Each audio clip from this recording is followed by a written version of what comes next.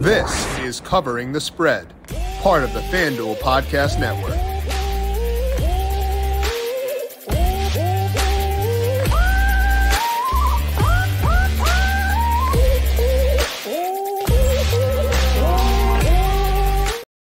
We already have a bit of an odd duck in the NFL for this week where there aren't a lot of like super, super high profile games, but there are some games that have pretty high stakes in large part because there are teams in some desperation mode for this week. There are some really good teams with large spreads. So interesting weekly it's from a betting perspective. We're going to break down how to handle that, uh, some of those those high leverage games, and try to get you ready for Week Three in the NFL. This is covering the spread right here on the FanDuel Podcast Network and FanDuel Research. My name is Jim Sannes. I am a digital media managing editor for FanDuel Research, joined here as I am every Thursday by Dr. Ed Feng. You can find his work at thepowerrank.com and check him out on Twitter at the Power Ed. Week three is an odd one. How are you doing today? I'm doing pretty well. I mean, I feel like you know this was like week two in college football where there weren't a lot of marquee games, but uh, it was interesting nonetheless. I think we'll see the same thing uh, this week, and uh, you know, it's the NFL. I mean, it's it's funny to hear. It is definitely true that some teams are in desperation mode, but it's two weeks into the season. Yeah, and 17, 17 games now. Yeah, yeah. We got a long way to go, but I don't know. Maybe just uh maybe the fact that it's Vikings Chargers specifically, like the chaos of those two teams converging. I'm not sure my brain can like actually grasp how dumb that game will be on Sunday. Yeah, we'll see. Uh, I'm, I am not sure it's necessarily going to be dumb. You, you got some Justin Jefferson in there. You got like you know, Justin Herbert, who can be brilliant. So we'll see.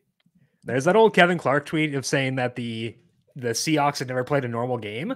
That could also apply to both the Vikings and the Chargers. So I'm excited to see how that one plays out. I know it'll be entertaining regardless of what happens. We'll talk about that game and more and get you ready for week three here in just one second. But first, a reminder to make sure you're subscribed to Covering the Spread wherever you get your podcasts. If you want some thoughts on tonight's Thursday night football game, check out Primetime Tom with Tom Vecchio breaking down player props for the 49ers and the Giants. That is up in your Covering the Spread podcast feed right now, along with FanDuel TV Plus. We also had our week four college football football preview with Ed yesterday. That is up in the feed previewing a fantastic slate of college football. That is up in the, the podcast feed, the FanDuel YouTube page, and FanDuel TV Plus. To get FanDuel TV Plus, make sure you go to uh, FanDuel TV Plus on Amazon Fire, Apple TV, or Roku. And you can also go to FanDuel.com slash watch. Snap into action this NFL season with FanDuel, America's number one sports book right now. New customers can bet two or get $200 in bonus bets guaranteed when you place a $5 bet. That's $200 in bonus bets, win or lose. If you've been thinking about joining FanDuel, there's no better time to get in on the action. The app is easy to use. There's a wide range of betting options, including spreads, player props, totals, and more. So visit fanduel.com and kick off the NFL season. FanDuel, official partner of the NFL, must be 21 plus and present in select states. FanDuel is offering online sports wagering in Kansas under an agreement with Kansas Star Casino LLC. First online real money wager only. $10 first deposit required. Bonus issued as non withdrawable bonus bets that expire seven days after receipt. Restrictions apply. See terms at sportsbook.fanduel.com. Gambling problem? Call 1 800 Gambler or visit fanduel.com slash RG in Colorado, Iowa, Michigan, New Jersey, Ohio, Pennsylvania, Illinois, Tennessee, and Virginia. Call 1 800 Next Step or text Next Step to 53342 in Arizona. 1 888 789 7777 or visit ccpg.org slash chat in Connecticut, 1-800-9-WITH-IT in Indiana, 1-800-522-4700 or visit ksgamblinghelp.com in Kansas, 1-877-770-STOP in Louisiana, mdgamblinghelp.org in, in Maryland, 1-800-GAMBLER.net in West Virginia. Call 1-800-522-4700 in Wyoming. Hope is here. Visit gamblinghelplinema.org or call 800-327-5050 for 24-7 support in Massachusetts. Call 1-877-8-HOPE-NY or text HOPE-NY in New York. Now, before I dig into the big games for this weekend, I want to talk to you about big spreads because we've got a lot of them for this week. And – my model personally is having a hard time catching up to those because it's early in the year, which means there's increased uncertainty. And so it's harder to get to a very confident number at that point. So I want to ask you is your model pushing you to back some of the bigger dogs this week, or what are you doing with those larger spreads we see for week three? My model actually has uh, a lot of these larger spreads. You know, I have San Francisco by 11 tonight. Um, and, and I think it's basically because of how I do at least one part of my preseason model. When I do my wisdom of crowds preseason model, I'm taking subjective power rankings. But the way I map them onto ratings is by like my year end numbers. Um, so like I know on average how good the best team in the NFL is compared to average, how bad the worst team is in, in number of points compared to average. So I feel like that it tends to be an aggressive model. Like the spreads between the top and the bottom team tend to be pretty big, at least compared to what my market rankings say. They tend to be a little bit more conservative. They tend to, uh, you know, have a smaller spread between teams. Um, I, I, mean, actually, look, both of them are involved in my rankings right now, but um, yeah, I mean, because of the wisdom of crowds, because of the way I constructed, I, I am getting some pretty big spreads. Uh, there's a pretty big spread that I actually don't believe in, and we can talk about that in in a little bit. Um, but you know, I have Jacksonville by nine, so it it I am getting um, some pretty big spreads and, and and pretty in line with the markets at least on those games. Yeah, for me, the big one is Arizona, uh, 12 and a half. It's hard to like. I know we had this discussion the year the Dolphins right. were tanking. Uh, that was uh, the Josh Rosen um Fitz Magic year where they like got blasted like they lost relative to the spread by like 21 points the first couple of games. They showed up right. as a value then. And at that time, it was like, okay, you need to show value, ignore that. For the Cardinals, like 12 and a half at home is tough. Even though I've got Dallas, right. I think they're the top team for my power rankings right now, which I don't know how I feel about. I don't know if I'd hang, hand rank them there, but like they're the top team. It's hard to get to, to 12 and a half when one team is at home. Yeah, absolutely. I mean, I actually do have Dallas by about 12. I think okay. partially that's because like, you know, the market win total mm-hmm. uh was assuming no Kyler. I actually I guess that that would be the other way. Um I think some of the early season adjustments, uh, I try not to make them that aggressive in the NFL, right. but inevitably they end up that way for whatever reason. Uh, I am at 12 in that game. Uh, you know, it does seem to be capturing the difference there. I, I'm I'm actually pretty high in Dallas. So if they're number one, I don't know exactly where they are in my my top my uh, most trusted numbers, but I think they're going to be good. Um, I wouldn't be surprised if they uh, were one of the best three teams in, in the NFL when all is said and done. Yeah, they actually are first me. I just checked, so they are first. Um, still can't quite get to that number, but uh, I I just kind of ignored it personally. The fact that I'm showing value there because I don't trust that it's fully legitimate. So Hopefully that doesn't bite me, but I think hearing that your numbers also are large uh, reassures me that staying away from these games, despite seeing value, is probably the proper way to handle things there. Let's take a look at some of the bigger games in week number three and start things off with a very fun one because both the Chargers and the Vikings are in need of a victory here in week number three. The Vikings are currently one and a half point favorites. That's bounced around the entire week, uh, like 16,000 times. Money line has stayed more steady. Currently, the Vikings there are minus 110, Chargers minus 106 at FanDuel Sportsbook. They're both 0 2 so far, Ed. So, which team do you think should be more concerned about how things have gone thus far? Probably neither. They are collective 0 and 4 in one score games. So, you know, let's not make too much of of whatever it is. I mean, I think the Chargers have, have lost by a grand total of what, three or four points or something like that. Uh, Minnesota, you know, uh, ran into Tampa Bay week one, uh, lost to Philly week two. So, um, you know, when I look at this game, it, it, it's kind of interesting. Uh, I, I looked at the, I, just catching up on what what's going on with the Chargers pass defense and like their coverage grades have been awful this year. Um, I don't really expect that to continue. I think you're going to get some regression to um, where you know, I mean, I think a pretty talented set of corners, uh, J.C. Jackson and Asante Samuel Jr. Uh, and they, you know, and they were decent in my numbers uh, last year. They certainly weren't terrible uh, like they have been so far this year.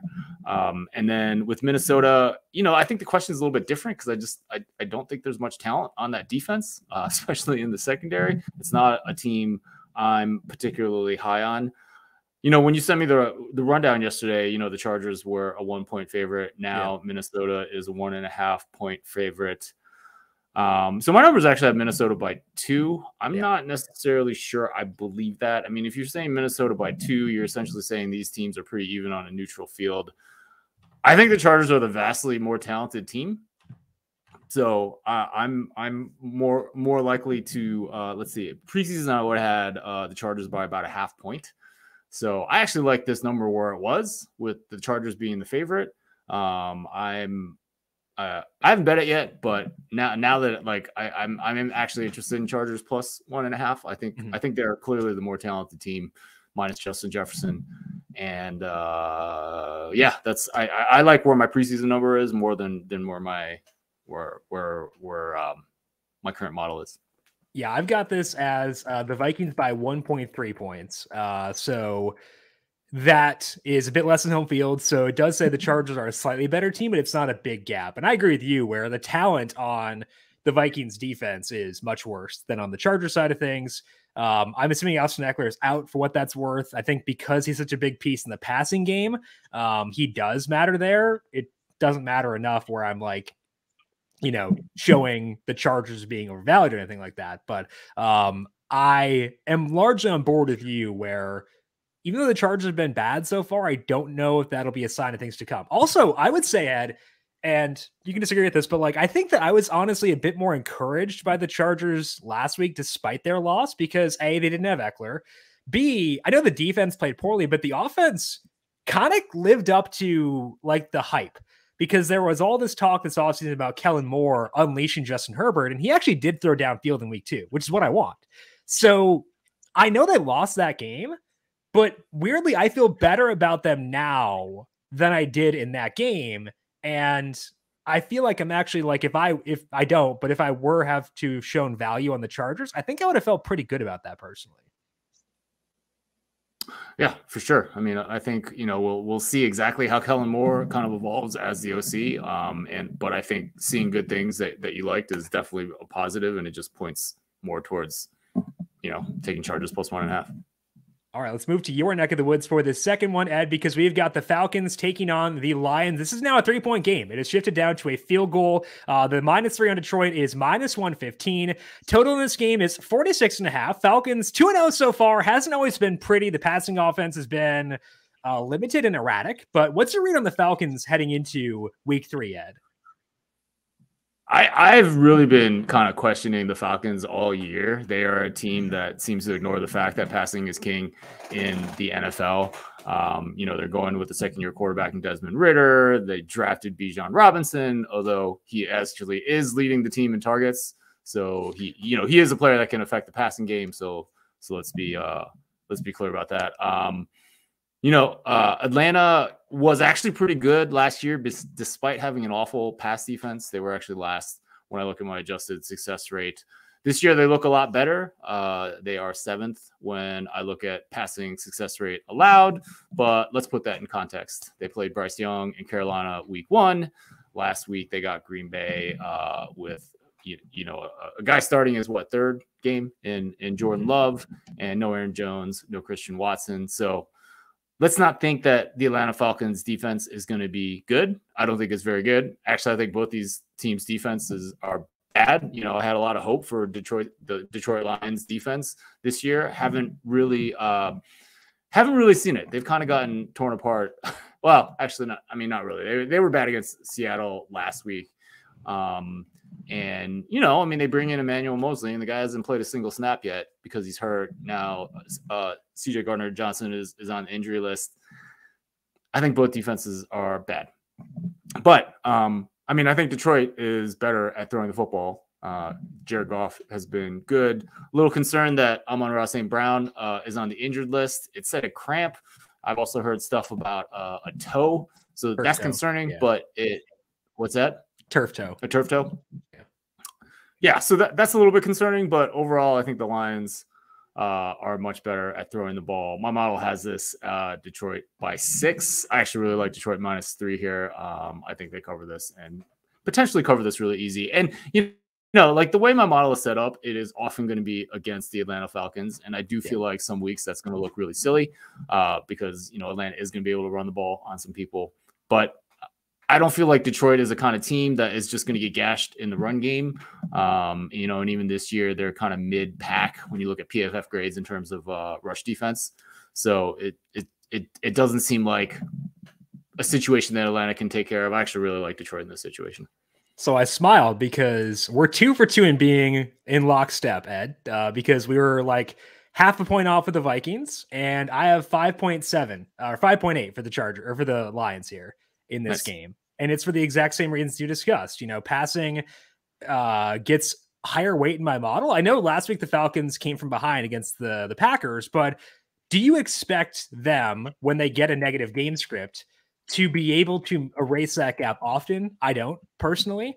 And yeah. that's why passing efficiency gets a larger weight, is because it's more applicable in like every script. Amon-Ra St. Brown did return to practice on uh, Thursday, and he's a good enough player where if he's truly, truly banged up, he doesn't have to play or practice. But he did practice on Thursday. And late in that game, like he had left for a bit and then he came back in like the fourth quarter and he made a reception. He looked great on it.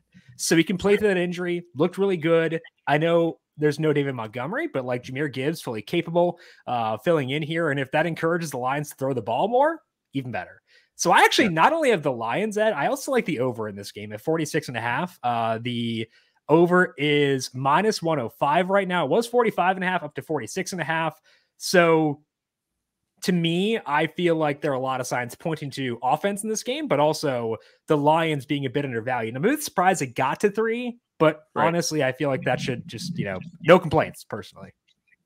Right. And you have to remember, like, the Lions probably should have won last week against Seattle. They had Correct. pick six, they had some yeah. other turnovers. Uh, they were better. I definitely in terms of yards, I think in terms of success rate as well.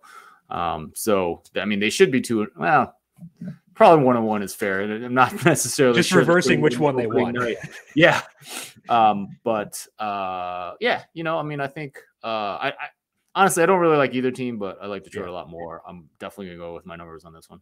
I will go with mine as well. So we're both on Detroit here for this weekend. Final game to discuss here is the Saints at the Packers, where right now the Packers are one and a half point favorites. Total of this game is 42 and a half. That spread is tightened because it was two and a half. It's now one and a half. So some movement towards the Saints. And Ed, Jordan Love has put up decent surface level numbers so far, but we know surface level numbers can be kind of fluky, and they were in very plus matchups. So, where are you at on this new look Packers offense through two weeks? Yeah, I don't really know. I mean, it's hard when you have no Aaron Jones and Christian Watson last week, right? So they're still questionable for this game. I, I think that really matters, especially with uh, with a young quarterback. Um, yeah, let's talk about New Orleans. I think they got lucky as heck to beat a pretty bad Carolina team last week, right? I mean, Bryce Young had the fumble when they were uh, in in their territory, and you know, New Orleans offense wasn't doing anything until Chris Olave caught that miracle uh, pass up the sideline. And I don't know if you take out whatever those 40, 50 yards were, um, you know, a lot of things kind of change in that game. The Saints defense was great, and that's kind of what we expect. Um, and so I don't know. I, I kind of there's a part of me that expects Derek Carr to go back to the way he was two years ago, and maybe that's just really not going to happen. Um, so I don't know. I think a lot of questions there. Obviously, a lot of questions about Green Bay uh, with you know with Jordan Love at the quarterback position. Um, I don't I don't know what what to think uh, about this game. Oh, the other thing about Green Bay, you know, like they had the pretty good win against Chicago week one, but they were plus two, two in turnovers, and they were actually uh, six six percent worse in passing success rate than than Chicago, which is you know not what you want to see when you're facing Justin Fields. I don't know what to think about Green Bay. I mean, I was kind of on the low side of expectations compared to everyone preseason. Uh, I may double down on that. I also don't know what to think about New Orleans. Um, I think the injuries really kind of matter, and is also confusing the picture. I would have made this uh, Green Bay uh, by about two in the preseason, which kind of seems where the market as is right now. Uh, I'm kind of seeing that in a couple games that you know the market's pretty close to the what I would have made it preseason, particularly that Miami game that you have up right now, minus six and a half. That's not what my model has, but uh, that that's what I would have made it this preseason, which I think is smart, right? Like I think it's actually smart to stick pretty close to what your preseason prior is, uh, and not overreact. Um, you know, right now I have adjusted. I have this game pretty close to a pick. That that's actually probably the right answer, especially if Jones and Watson don't play. Uh, but I, I don't. I have I have zero interest in betting this. We're three for three, Ed. 0.22. Uh, I have Green Bay here by 0.22 for this game. So we are within a half point on all three games, uh, our models for this weekend. I did take the under when it was 43 and a half. It's now down to 42 and a half. That's probably because of wind. Uh, there's some, I think, 12 mile per hour winds in the forecast for that game. Uh, so I got that at 43 and a half, 42 and a half. I still have, I think, a tiny bit of value, but it's at, uh, I have it at 40.8. Uh, so not as much there anymore. Uh, in large part because I respect the Saints defense, still skeptical of this Packers offense. The Saints offense is weird, kind of like I had the over for the Saints Panthers game, and just the second they started to ground and pound before Jamaal Williams got hurt, I was like, oh boy, that's dead. So yeah, they were pretty frustrating there, honestly. And I, I think I agree with you where it's a tough game to read. Market's probably pretty accurate on this one. So at least with where things stand right now, I'm okay being a spectator for this one in the afternoon. Any other bets you like across week number three at a FanDuel Sportsbook? Yeah, I mean, I actually haven't bet this, but I've been thinking about it all week, and that's Cleveland. Uh, is it still minus three and a half? Uh, I believe so. It was Tennessee. as of 20 minutes ago. Yeah. So this game is uh, particularly interesting to me. Um, you kind of have the Nick Chubb factor. He's he's out. Uh, talked to uh, Tanner Busick from Dr. Bob Sports this morning on my podcast, and and he said that's worth about a half a point to him. Probably on the low side, what what people are gonna you know give that uh, injury. I also think uh, so. My my model has this close to eight, Cleveland by eight, and and I think that's too much. Uh, I think you know we didn't really see the true Cincinnati team week one, and you know my model as as non-aggressive as as it tries to be in the early weeks, you know, made made about a two point adjustment there. So I'm not sure that's necessarily fair. Uh, you know, Cleveland uh, lost to Pittsburgh, but that was a pretty fluky game with some defensive touchdowns. Uh, preseason, I would have made this Cleveland by about five. Um, and when when you look at these, so it should probably be about four and a half right now. Uh, and when you look at this game, I I just think Cleveland's a much better football team. I think their defense is going to be really good. I think their defense was like kind of strangely not as good as it should have been, given the talent that they have on that side of the ball last year. You know, they bring in Jim Schwartz this year. It looks good. It's probably not as good as it has been over two games, but I still think that defense is going to be really good.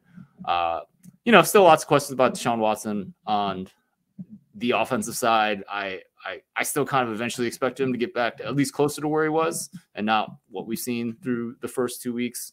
Uh, and I'm just not really a fan of this Tennessee team at all. So uh, I'm leaning towards betting Cleveland minus three and a half. Uh, that price looks pretty good, minus 102 there. Uh, I just think they're a better football team at home. And um, I think they're the right side. I agree. I took the Cleveland money line earlier on this week. That is currently minus 178 right now at FanDuel Sportsbook. I think I got it at 176 or somewhere around there. Uh, so also seeing value in Cleveland in this game. I do have a pretty big downgrade in there for Nick Chubb because if you run the numbers on this Browns offense with and without Nick Chubb, or when he's like off the field versus on the field, their passing expected points actually do go down a pretty decent amount without Nick Chubb.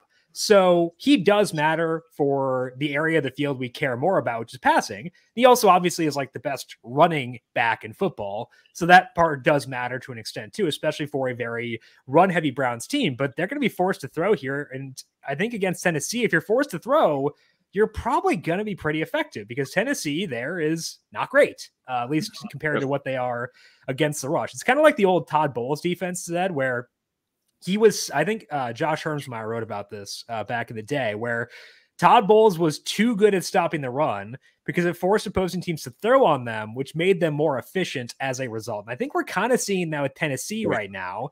And right. I think that that should be a concern for them as far as I, I know that they won last week, but that's a pretty big concern for them. And they've covered both weeks too. So it hasn't bit them yet, but I feel like long term that could wind up being an issue.